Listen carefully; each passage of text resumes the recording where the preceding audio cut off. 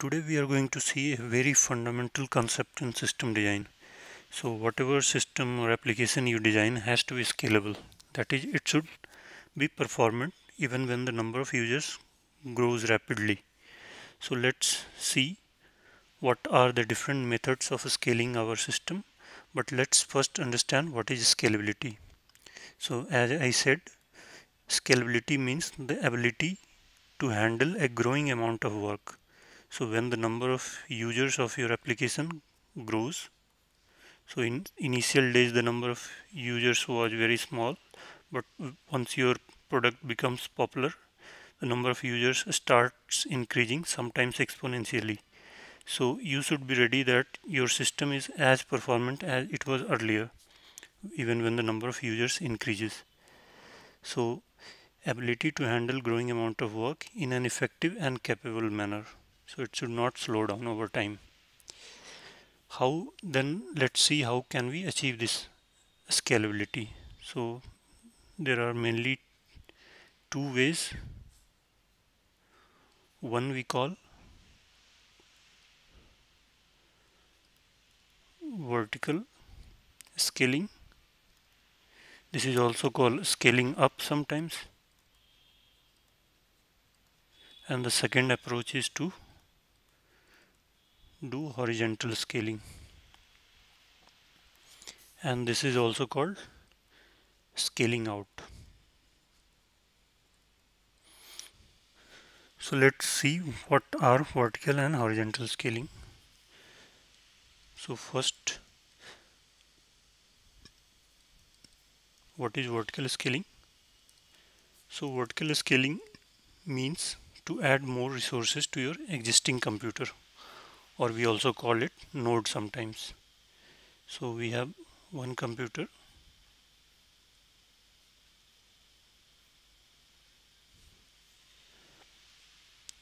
We can also call it node.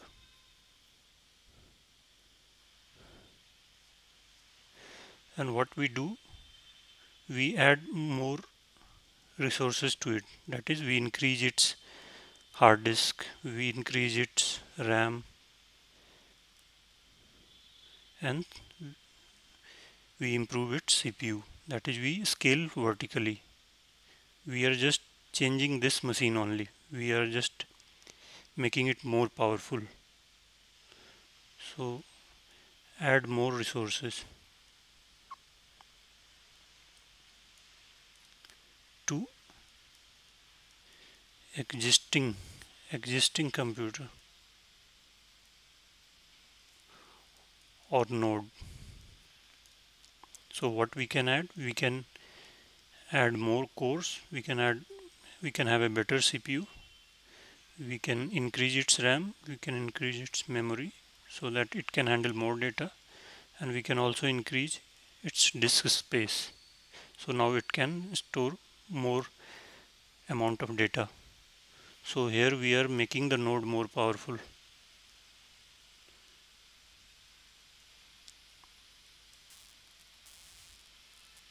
so this is called vertical scaling. Now on the other hand what is horizontal scaling? So instead of increasing the power of the existing system we add more system.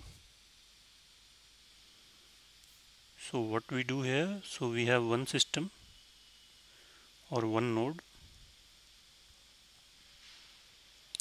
we add more such nodes. So we are scaling out, we are scaling horizontally. Here we were scaling vertically. So if one computer was able to process let's say 1000 requests per second, now with more number of computers we can distribute the incoming request to different computers and they can serve different clients and uh, this method is more scalable like when the number of uh, requests increase further we can add more nodes and just route some of our requests to that new node. So these are the two main methods of scaling. Now let's understand this concept with a simple example. So let's say you created one machine learning application where when anybody enters one image which is black and white image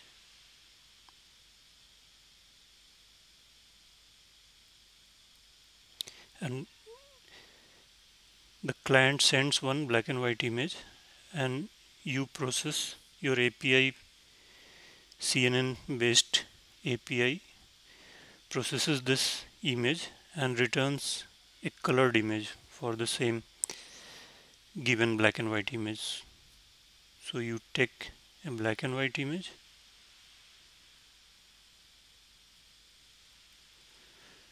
And what your API returns? A colored image.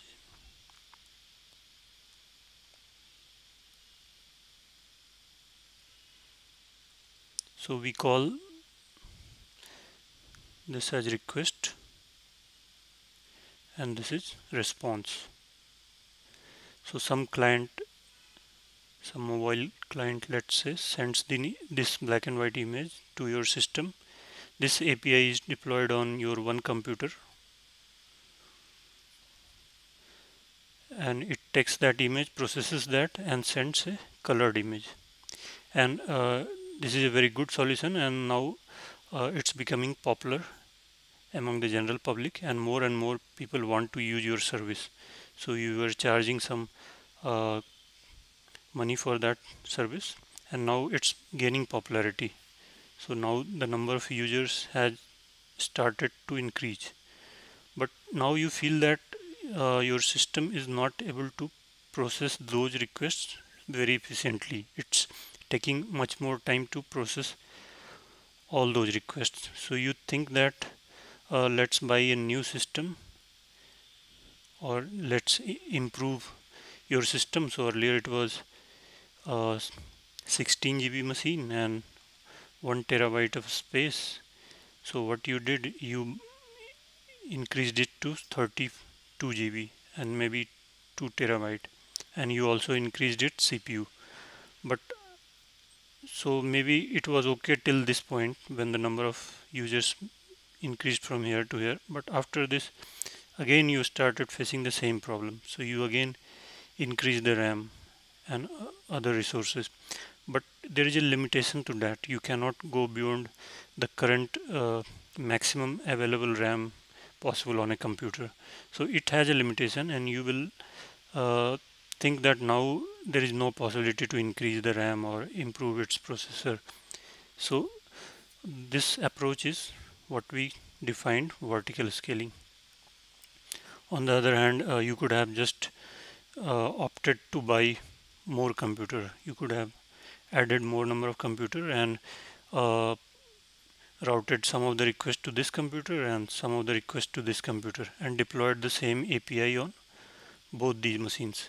Now when more users came, you purchased additional resources and did the same thing so this is the second approach that we discussed and we call it horizontal scaling.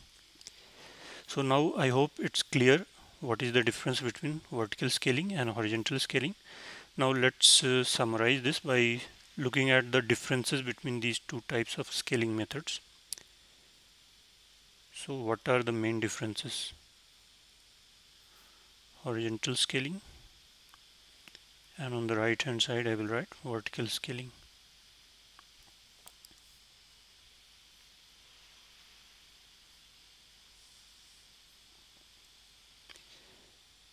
So first thing is that on horizontal scaling you have multiple systems. So you have one load balancer here before request. So request will be sent to this load balancer and this will decide that which computer has less number of requests being processed and it will send uh, the further request to that computer. So here in horizontal scaling load balancing is required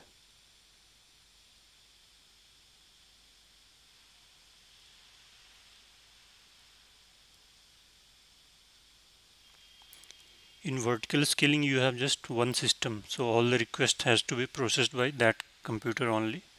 So no load balancing required. Now next is whatever if sometime fault occurs then this horizontal scaling system is more robust because suppose some fault occurs in this system and this system goes down. So you can uh, still route uh, the request to these two computers only or you have more computers than all these computers except this. But still it's able to process those requests.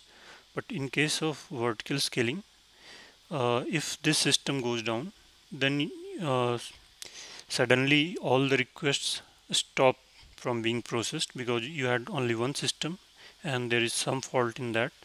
So it's a single point of failure. So once this node goes down everything goes down. Whereas in horizontal scaling there may be slight impact on performance but the whole system will not go down simultaneously. Now uh, in case of horizontal scaling we have multiple computers. So data has to be synchronized between them. Like client may also be updating some data based on that. You may need to change something. So for communicating between the systems we do network calls. We call it RPC remote procedure calls between computers.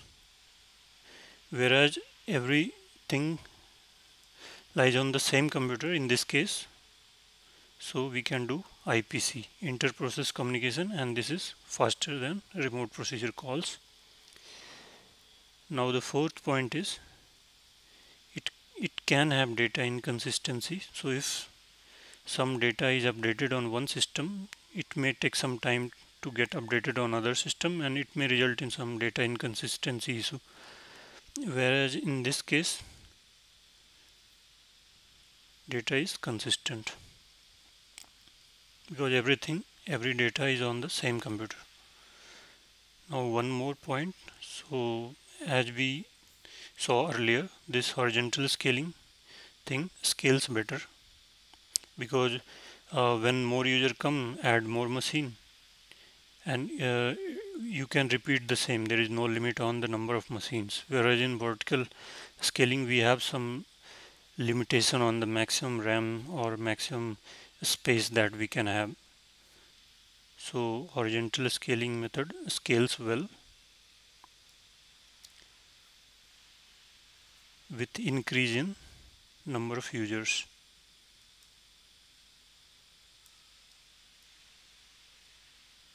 But in this case vertical scaling case we have hardware limitation. So both the methods have some advantage and disadvantages but mostly the horizontal scaling wins because of this scaling thing that is it can scale indefinitely and scaling is very easy whereas in the vertical scaling we are limited by hardware. So we can make some hybrid solution that is first try to increase the power of the node and once you have reached the limit add another node and again do vertical scaling and again horizontal. So this would be a hybrid solution. And for the new uh, companies or startups deploying some solution initially they can start with this vertical scaling because for the beginning few months the it's expected that uh, very less people will be aware of this service and uh, the load on the system will be less and once after some time the company reaches the break-even point then the company can think of buying more resources buying more computers and they can go into horizontal scaling. So I hope uh, I made it clear to you what are the different methods of scaling and what are the advantages of horizontal scaling and vertical scaling. So this uh, is a central concept and it will be very useful in uh, your system design interviews. So thanks for watching and don't forget to subscribe my channel. Thank you